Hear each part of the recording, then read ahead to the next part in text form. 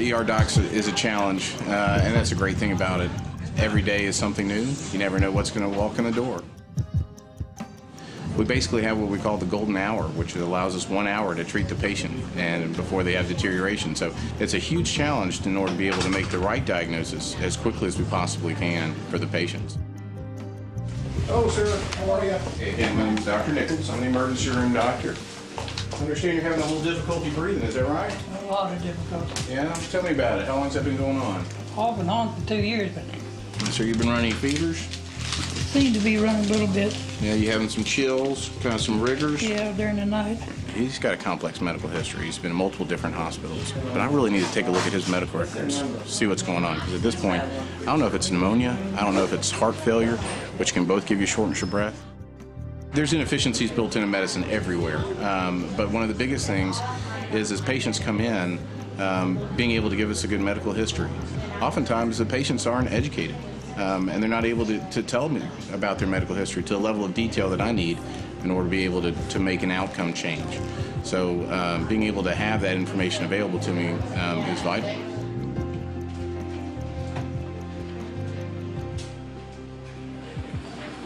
You know, we do as physicians worry about doing harm to patients because we don't know enough about them when they come into the emergency room setting. And it is a very real danger. Data shows that somewhere between 1 in 5 and 1 in 10 patients that come into the hospital have a major complication related to their care.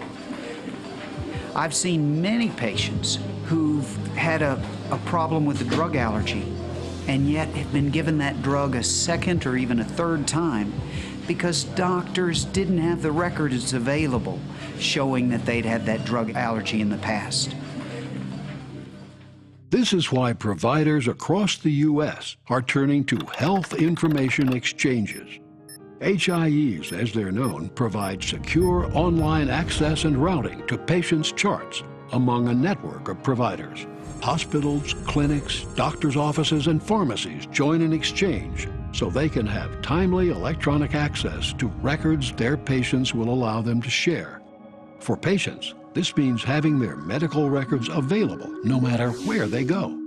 And for providers, it means having instant access to life-saving information when seconds count. In emergency medicine, it's it's it's just uh, revolutionary, actually, uh, because we've never had patients hold records, uh, or it's been very, very spotty, if, if at best. I would hate to go back to uh, candles instead of light bulbs, but uh, that that would be about equivalent to what it would be like. Starting to feel a little bit better. The medicine starting to kick in a little bit. It's already saving lives in Memphis, Tennessee. This gentleman has uh, extremely bad emphysema in his lungs, and he's had recent pneumonias. We can pull data from other hospital systems and be able to look at overall how's his lung functions been, how's his kidneys working, has it gotten worse? Um, and not just through our hospitals, but through all the other hospitals that he's been, been visiting. He's had metastasis to bone, so he's had cancer that's gone to different areas. Is this something else that could be going on today? All that information I wasn't able to, to garner from the patient, but I have to know that information to be able to make the right treatment decisions right now. I've practiced medicine in a lot of different settings over the course of my life.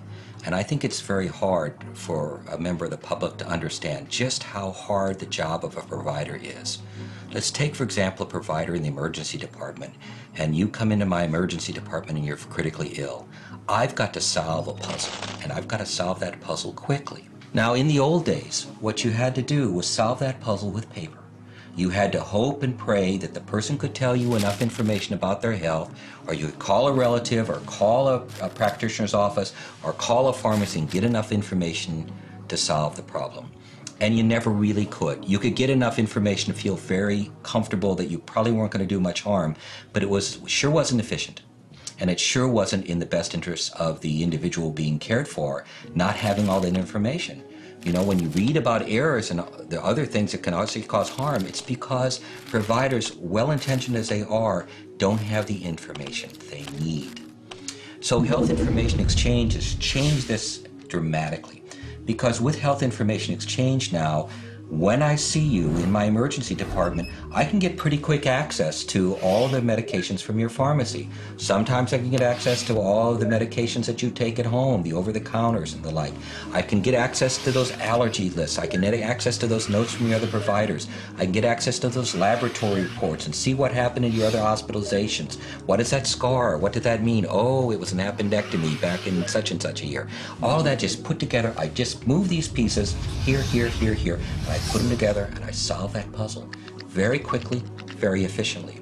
Now, another way that health information exchange solves the puzzle is if you then th- go back and see your primary care practitioner.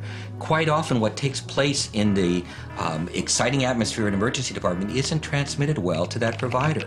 But with health information exchange, the minute you come out of that emergency department, you come back into my provider office in your outpatient setting, that information is right there like that. And so you take the piece here, take the piece here, take the piece here, take the piece here, boom, you solve the problem again and you go on. That's really important for primary care. As you know, primary care providers are under a lot of pressure these days. They have to see a lot of patients. They would much rather spend their time talking to you about what's important to your health, what's important to your life, than trying to go around and get an information here, get a fax there, fill out a form here, get a request there, and put the puzzle together. They would much rather talk about you and make from that puzzle a greater thing about your better health. Experts tell us that about $660 billion a year, almost a quarter of what we spend on healthcare, is unnecessary spending. Doesn't do anything to improve quality. And a lot of that unnecessary spending is in duplicate testing that people don't need. Some of the most common things we see here in the emergency room are headaches and the routine when people come to the ER with a headache is to get a CT scan. We've had some patients who've had as many as 20 or 30 head CTs over a two year period. That's enough to give you brain cancer, even if you didn't start with it. In the last five years, hospitals using Memphis, Tennessee's Health Information Exchange have saved $10 million from fewer admissions and fewer tests. But the number of lives saved and mistakes avoided is immeasurable. For Lee Sterling, having a health exchange could have changed everything.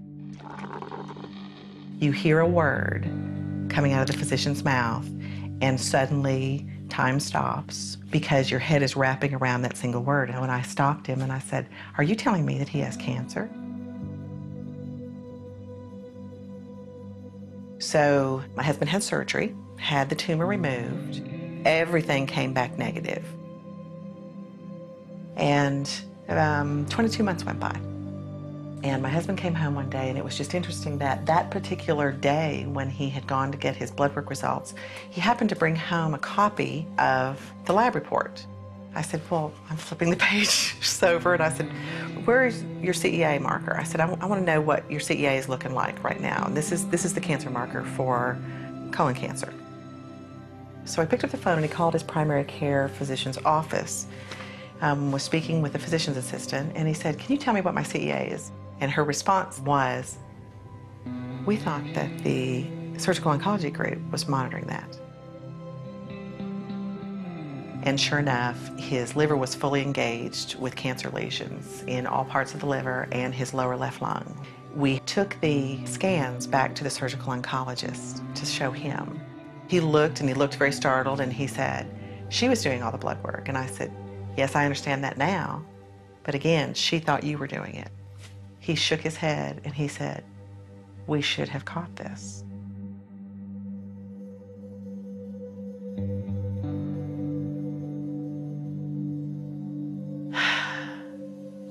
Just, I don't know if the outcome would have changed. But it's really hard to look back at the situation and not ask yourself whether or not things could have changed if they knew.